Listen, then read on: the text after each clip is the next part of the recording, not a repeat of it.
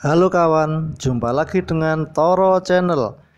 Bismillahirrahmanirrahim. Assalamualaikum warahmatullahi wabarakatuh. Allahumma sholli ala sayyidina Muhammad wa ala ali sayyidina Muhammad. Oke kawan, saya kali ini saya akan menaiki eh, makam Syekh Jumatil Kubro ya yang ada di lereng Gunung Merapi, tepatnya di puncak Bukit Turgo. Bagi sebagian masyarakat banyak yang mengenal, mengenal sosok Syekh Jumadil Kubro sebagai penyebar agama Islam periode awal di Pulau Jawa. Hingga kini makam maupun petilasan Syekh Jumadil Kubro banyak dikeramatkan dan menjadi tempat ziarah. Oke, kita ikuti. Dan di sini saya akan mendoakan atau berziarah di makamnya Syekh Jumadil Kubro ini ya.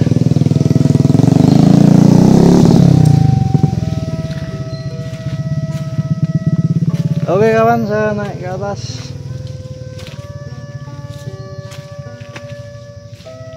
Tangganya agak serem. Ini tinggi ya.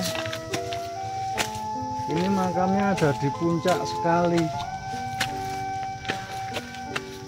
Ada di puncak ya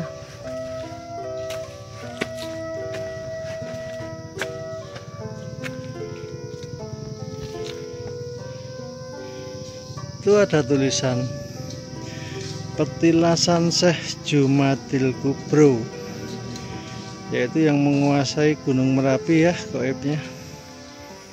Dan di atas itu sudah lereng Gunung Merapi yang paling tinggi yang di mana daerah ini dulu pernah kena erupsi dahsyat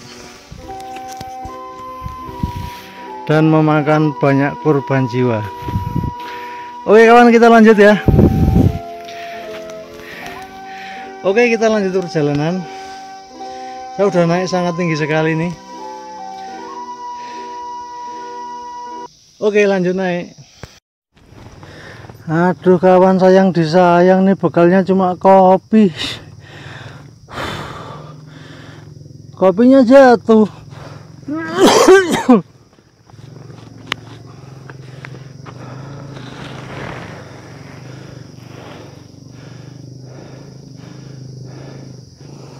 inilah view bawah ya. View kota Jogja dan Laut Selatan.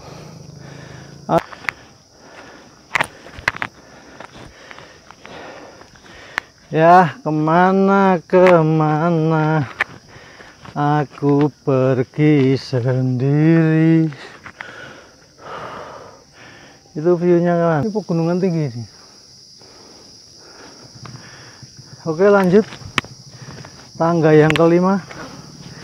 Bentuknya siksak ya. Berliku-liku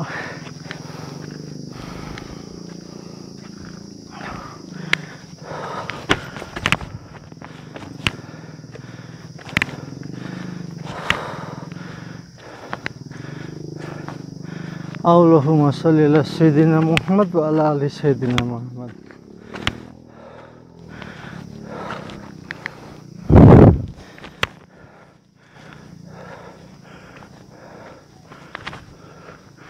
tuh sana masih ke sana lagi tuh.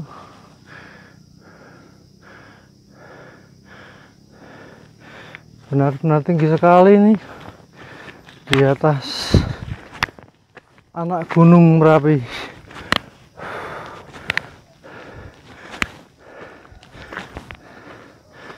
Ini kita lanjut jalan ke sana ya. Saya tak istirahat dulu napasnya mengkis-mengkis. Itu view Jogja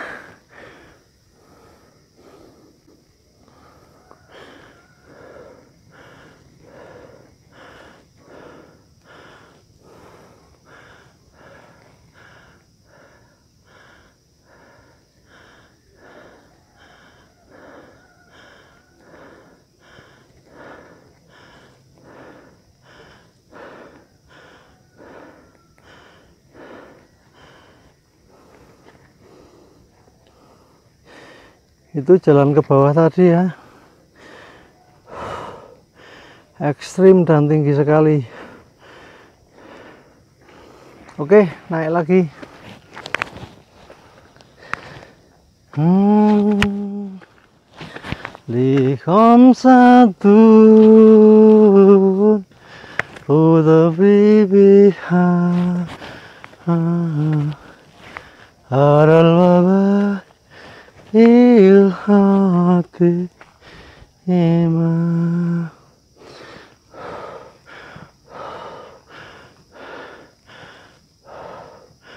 Al mustafa wal murtadun wabnahuma wa Fatimah Oke lanjut kawan ikuti perjalanan saya ya. Jangan di skip ini perjalanan yang seru dan ekstrim. Sampai napasnya ngos-ngosan berat. Wah masih lagi nih. Uh masih ke sana kawan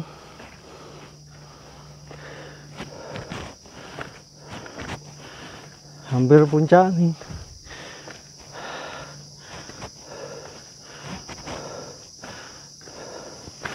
Ya Allah Ya Rabbi lindungi kami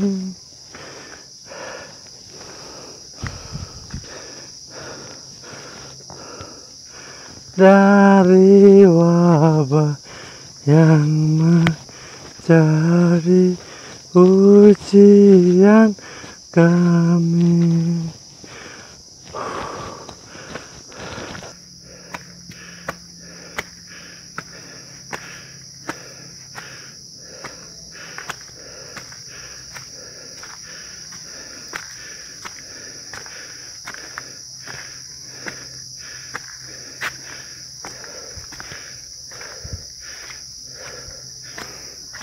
Hmm.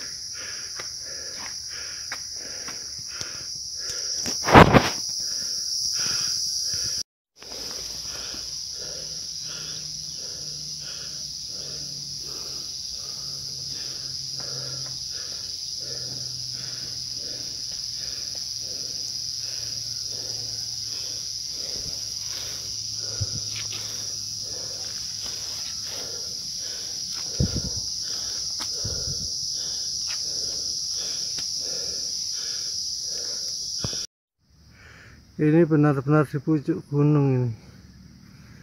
Jalan kaki 25 km ya. Dihitung dari tangga yang berliku-liku ini.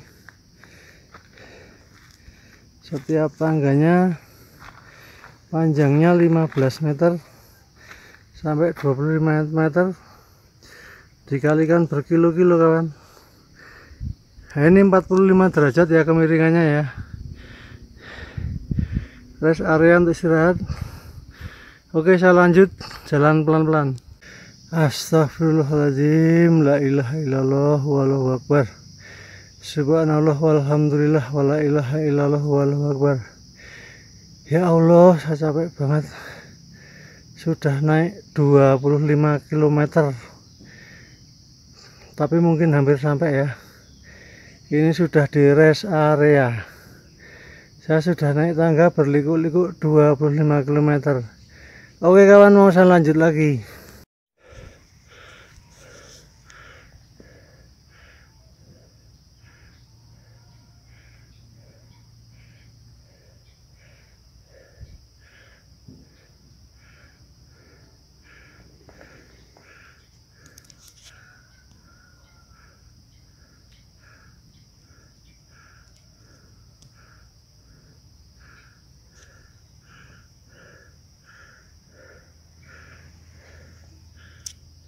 Oke kawan, sekiranya saya tidak sanggup lagi melanjutkan perjalanan karena ketinggian diperkirakan masih 8 km.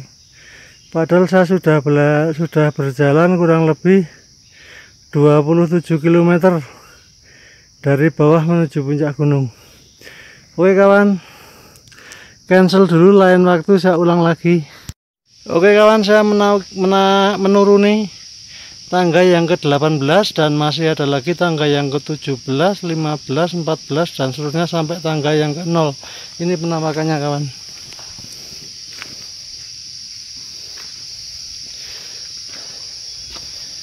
Mantap dan kebetulan gerimis ya. Kebetulan gerimis.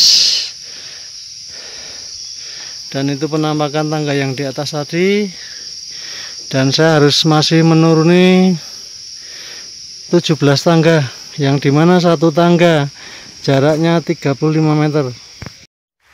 Inilah kawan saya masih melewati tangga banyak tapi hujan ya. Itu di belakang saya ada gunung ya. Itu gunung tapi saya kehujanan nih. Itu tangganya masih ke bawah jauh banget. Masih kurang 14 tangga. Oke kawan uh, misi saya menaiki tangga. Kurang lebih tangga berkelok-kelok. Kurang lebihnya 40 sampai 50 km ternyata saya baru di 35 km naik tangga. Saya sudah menyerah. Tapi menyerah itu bukannya kalah. Menyerah adalah menambah semangat untuk lain waktu akan saya ulang lagi yang di mana pada hari ini rencana saya mau ziarah ke makamnya Syekh Dumatil Kubro yang pada waktu itu erupsi Merapi, Wedus Gembel Merapi menyapu daerah ini, makam dan sekitarnya tidak hangus sama sekali dan masih utuh. Oke kawan, kita lanjutkan turun ya. Ya demi menjaga keamanan. Karena saya cuma sendiri dan ini di hutan belantara asli tidak ada manusia kecuali saya sendiri. Jadi saya memutuskan untuk cancel dulu. Dan saya akan turun ke tangga dan tangga untuk ke bawah ini jaraknya masih 25 kilo. Sudah dihitung dan sudah saya tanyakan pada pengelola di wilayah ini. Inilah penampakan tangga yang ke 18 ini tangga yang ke 18 di bawahnya sudah jurang-jurang ya. Dan Laut Selatan Kota Jogja tidak nampak. Oke saya lanjut ke tangga yang ke 18 maksudnya tangga turun yang ke 18